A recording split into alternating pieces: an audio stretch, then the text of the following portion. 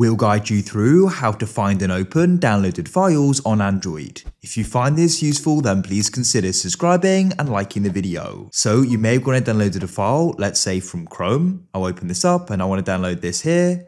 I'll press download. Then it's going to go and download. Or alternatively, you may have gone and downloaded it from Drive. I'll go and download this. Now you may be wondering where do these files go as you want to go and open them.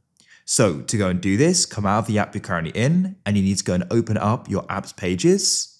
Now what you need to do is go and find your files app. So on this Android here, it's called My Files. It may be called something different for you. So you can always go and search at the top for files and you should be able to find it.